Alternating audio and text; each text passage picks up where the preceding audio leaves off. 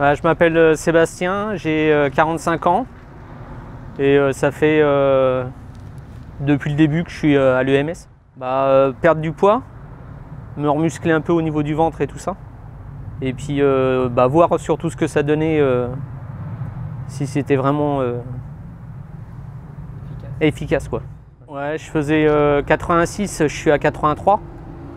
J'ai perdu 6 cm de tour de, de ventre, un peu de poitrine. Et puis, euh, plus, comment j'avais très mal aux épaules avant et j'ai plus mal aux épaules depuis quoi. Enfin, beaucoup, beaucoup moins mal quoi. Donc, euh, c'est impressionnant le, le- la sensation que ça fait au niveau des, des bras quoi.